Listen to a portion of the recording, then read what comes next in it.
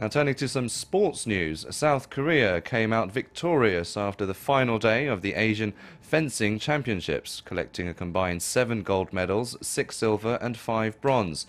The, com the competition in Hong Kong wrapped up Tuesday with the Korean men's team winning the sabre title and the women's team winning épée silver. It marks nine straight years for Korean fencers to top the tournament's medal standings.